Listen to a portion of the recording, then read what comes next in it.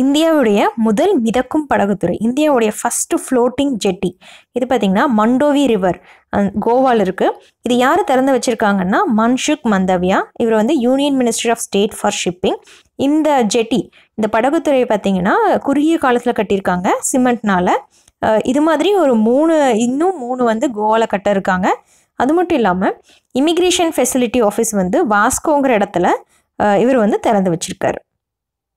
அடுத்தது டிப்ளமோட்டிக் outreach event இது வந்து பொருளாதார மற்றும் முதலீட்டு வாய்ப்புகளை விவாதிக்கிறதுக்காக ஒரு ஈவெண்ட் நடந்திருக்கு தமிழகத்தில்.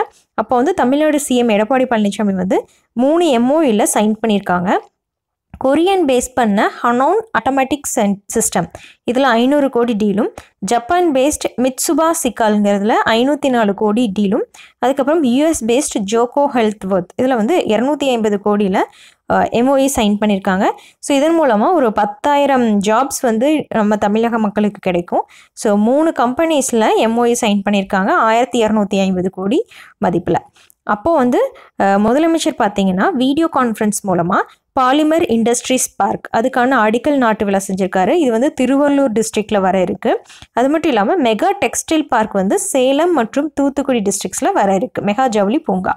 ஸோ பாலிமர் இண்டஸ்ட்ரீஸ் பார்க் வந்து Thiruvallur. Mega textile park mega ஜவுளி பூங்கா வந்து சேலம் மற்றும் தூத்துக்குடி.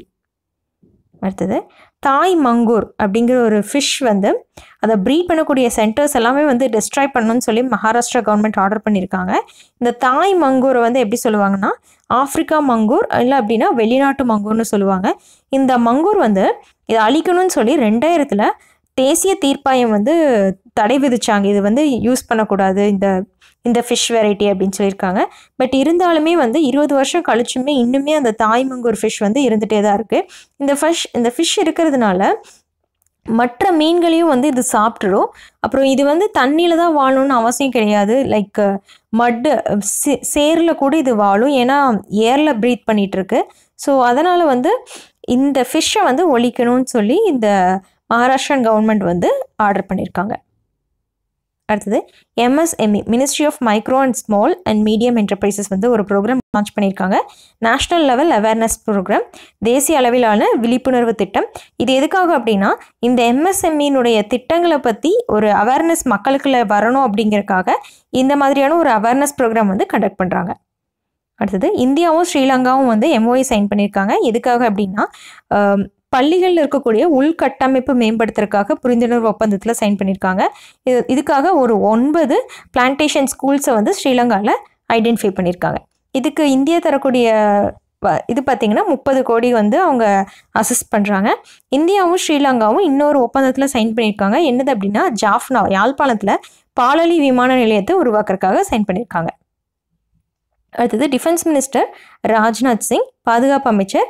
ஸோ இவர் வந்து தல் சேனா பவான் அப்படிங்கிற புது நியூ ஹெட் குவார்ட்டர்ஸ்க்காக வந்து இவங்க அடிக்கல் நாட்டியிருக்காரு.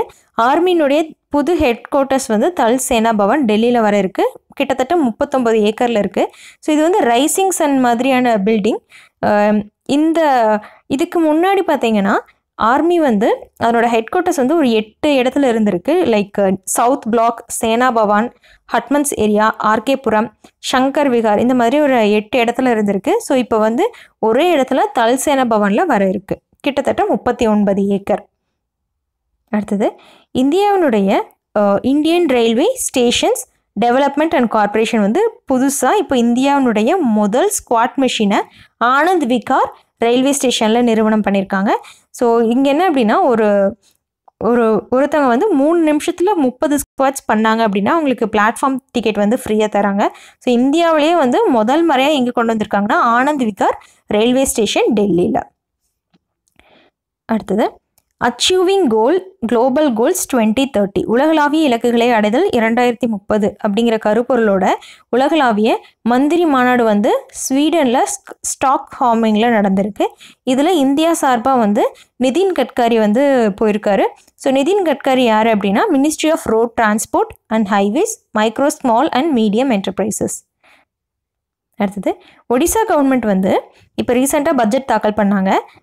ஒன் பாயிண்ட் ஃபைவ் லேக்ஸ் க்ரோரில் அந்த பட்ஜெட் இருந்தது. ஸோ அந்த பட்ஜெட்டில் பார்த்தீங்கன்னா காகிதம் இல்லாத பட்ஜெட்டாக வந்து இருந்திருக்கு. இதுதான் முதல் முறையாக ஒடிசா கவர்மெண்ட் இப்படி செஞ்சுருக்காங்க. இதுக்கு முன்னாடி ஹிமாச்சல் பிரதேஷ் தான் பண்ணியிருக்காங்க ஸோ இந்த பேப்பர்லெஸ் பட்ஜெட்டுங்கிறது ஒரு பசுமை. க்ரீன் பட்ஜெட்டு கீழே வர இருக்குது ஸோ இப்படி பண்ணுறது மூலமாக ஆயிரம் மரங்களை வந்து அவங்களால சேமிக்க முடியும்னு சொல்லியிருக்காங்க ஸோ அவ்வளோதான் ஃப்ரெண்ட்ஸ் இந்த வீடியோ உங்களுக்கு பிடிச்சிருந்தா மறக்காமல் என்னோட சேனலை சப்ஸ்கிரைப் பண்ணுங்கள் உங்களோட ஃப்ரெண்ட்ஸ்க்கு ஷேர் பண்ணுங்கள் டவுட்ஸ் இருந்தால் கீழே கமெண்ட் பண்ணுங்கள் தேங்க்யூ தேங்க்ஸ் ஃபார் வாட்சிங்